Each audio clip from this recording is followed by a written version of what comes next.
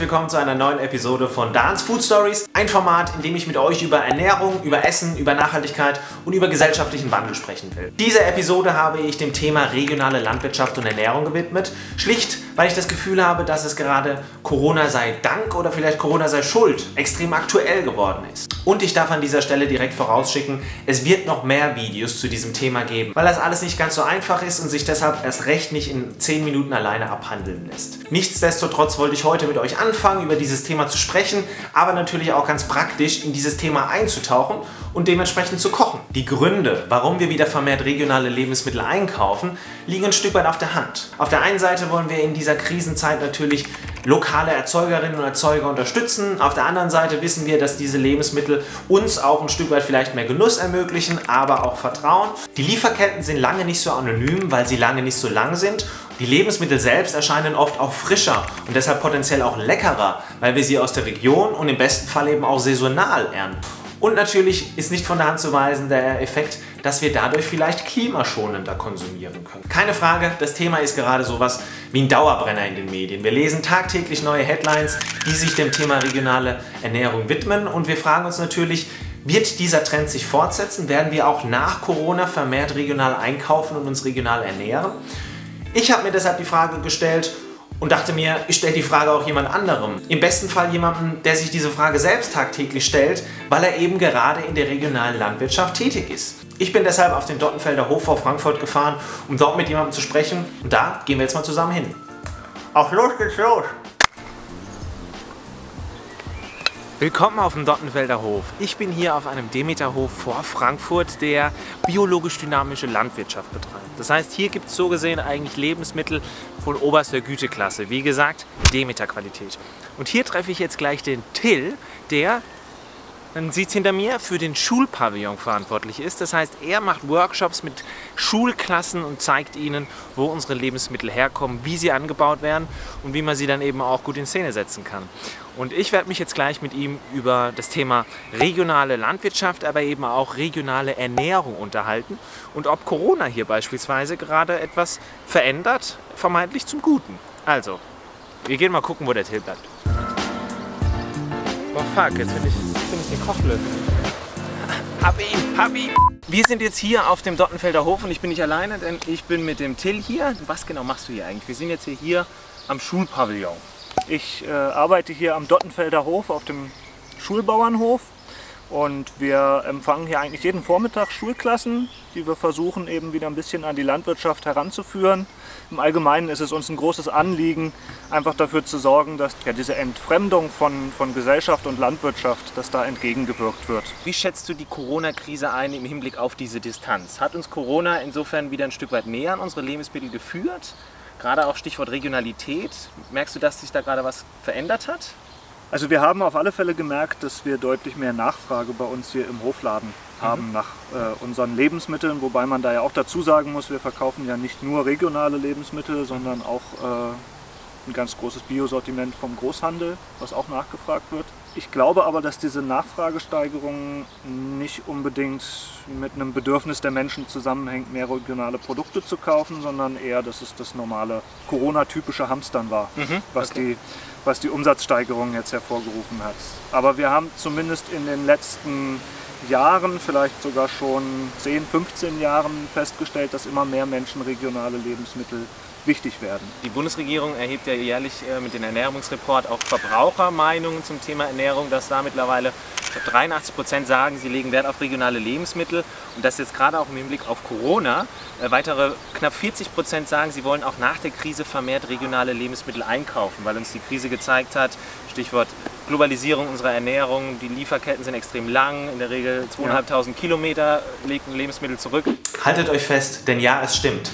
Das durchschnittliche Lebensmittel hat 2.500 Kilometer auf dem Buckel. Ende des 19. Jahrhunderts lag dieser Wert noch bei rund 80 Kilometer.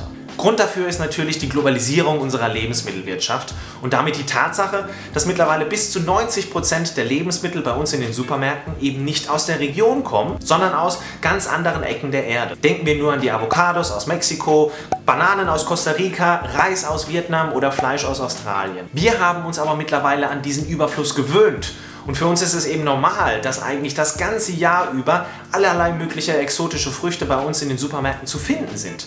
Man kann auch überspitzt sagen, was gestern noch Luxus war, ist heute Normalität geworden. Und wir vergessen leider zunehmend, diese Tatsache reflektiert zu überdenken und ein Stück weit auch wertzuschätzen.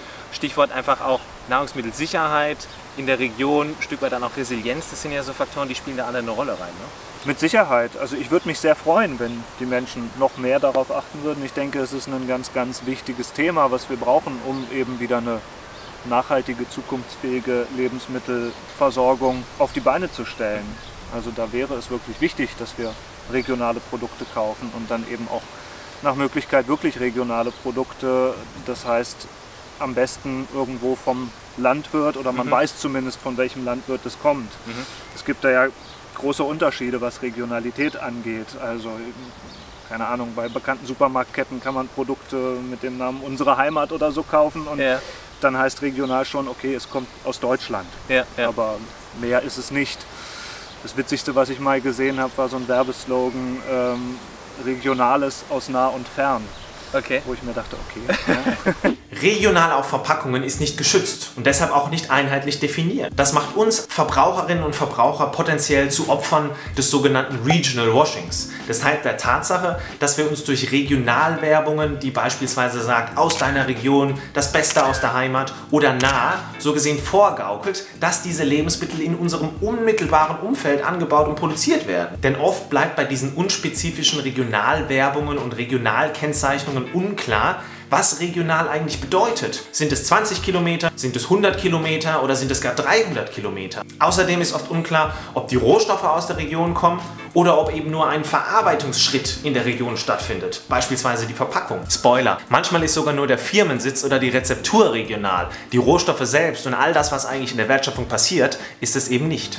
Wir erleben das schon, dass die Menschen hier zu uns auf den Hof kommen und dass es ihnen wirklich äh, wichtig ist, dann auch Produkte zu kaufen, die nach Möglichkeit hier von uns vom Hof kommen. Mhm. Und dann wird auch nachgefragt und sie sind dann zum Teil eben auch enttäuscht, wenn es gerade keine Butter gibt mhm. hier von uns. Aber wir haben zum Glück so viel Nachfrage, dass wir die gar nicht decken können. Okay. Und deswegen müssen wir auch Butter zukaufen, die dann ja. eben von einer großen Molkerei irgendwo aus Deutschland kommt. Und ja. die Butter hier von unseren Kühen gibt es eben nur zweimal die Woche. Okay. Ja. Man kann dann Biosiegel nicht mehr trauen, weil es mittlerweile so viele gibt. Aber regional gibt einem dann ein Stück weit Vertrauen zurück, oder? Ja, würde ich sagen. Und ich, ich denke, das Wichtigste wäre, dass Menschen, vielleicht nicht immer, aber zumindest ab und zu den Landwirt kennenlernen, der einen Teil zumindest ihrer Lebensmittel herstellt. Dass, man, äh, dass es möglichst viele Höfe gibt, wo man einfach hingehen kann und sich anschauen kann, was macht der Landwirt da, bin ich damit einverstanden, wo man Fragen stellen kann. Das ist eine viel effektivere und sinnvollere Kontrolle als irgendein Biosiegel, mhm. in meinen Augen. Und damit sind wir bei dem immer wichtiger werdenden Aspekt der Transparenz. Als Verbraucherin oder Verbraucher kann man nämlich heutzutage relativ schnell überfordert sein von all dem, was auf Lebensmitteln steht oder eben nicht. Und deshalb ist es irgendwie auch nicht verwunderlich, dass regional irgendwann das neue Bio wurde, weil wir uns irgendwann in diesem ganzen Bio-Siegel-Dschungel gar nicht mehr zurechtgefunden haben und einfach ein Stück weit ratlos zurückblieben, als wir uns die Frage gestellt haben, was ist denn nun das richtige Bio? Was ist denn das beste Bio? Und wie ihr leider vermuten könnt, scheint die Sache mit dem Regional eben auch nicht ganz so einfach zu sein.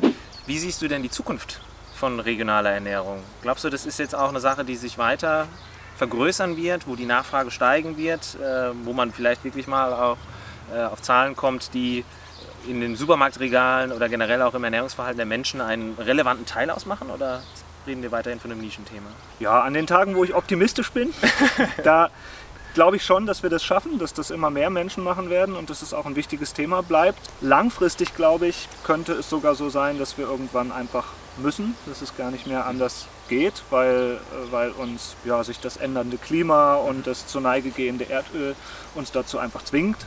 Aber ich hoffe, dass wir vorher einfach schon von uns aus die Kurve kriegen und äh, wieder viel mehr Wert auf hochwertige Lebensmittel legen, erkennen, dass es ja ethisch und moralisch nicht okay ist, Riesenfleischfabriken zu betreiben, mhm. wo sowohl das Tier als auch der Mensch drunter mhm. leiden, die da arbeiten müssen. Ich denke schon, dass auch durch die Corona-Krise da jetzt nochmal einen, ja, einen Ruck durch die Gesellschaft gehen kann und sich der Wandel vielleicht ein bisschen beschleunigt, der Wandel, den wir ja sowieso schon haben. Also wie gesagt, wir können das seit 15 Jahren mindestens beobachten, dass immer mehr Menschen es wichtig ist, regionale Lebensmittel einzukaufen. Ich hoffe, dass sich dieser Trend fortsetzt. Ja, irgendwie war das ein recht cooler und vor allem treffender Satz, den der Tilda am Ende gesagt hat. Ich selbst als kritischer Zukunftsoptimist, wie ich mich manchmal bezeichne, kann das nur unterschreiben. Denn ich habe das Gefühl, gerade sind wir an so einem Punkt, der ein Stück weit zwangsweise, Corona sei Dank, Corona sei Schuld erreicht wurde wo wir uns wieder häufiger gefragt haben, wo kommen unsere Lebensmittel denn her? Wie wird überhaupt geerntet? Welche Menschen stehen hinter den Lebensmitteln, die wir tagtäglich essen? Was bedeutet unser Konsum für uns, aber auch vielleicht für die Welt als Ganzes? Und ich glaube, wenn man sich solche Fragen ernsthaft stellt, dann ist das Thema Lebensmittelwertschätzung nicht weit. Denn wenn man nach diesen Antworten sucht, dann findet man diese eben oft auch in einer, kann man sagen, gesteigerten Wertschätzung der Art und Weise, wie wir mit Lebensmitteln umgehen. Und hier machen wir einen Cut das war so gesehen der erste Teil. Der zweite Teil, wo ich die Kräuter, die ich dann auf dem Dortenfelder Hof geerntet habe, zu Frankfurter grüne Soße verkoche. Den schauen wir uns nächste Woche an. In der Zwischenzeit freue ich mich auf euer Feedback. Wie schätzt ihr das ganze Thema ein? Wird das in Zukunft wieder mehr in diese Richtung gehen? Seid ihr selbst jemand, der regelmäßig regionale Lebensmittel einkauft? Und ansonsten hoffe ich, dass euch das Video gefallen hat. Falls ja, lasst mir gerne ein Like da, abonniert meinen Channel und schaltet dann nächste Woche wieder ein, wenn wir zusammen Frankfurter grüne Soße kochen. Bis dahin, bleibt gesund und bon Appetit!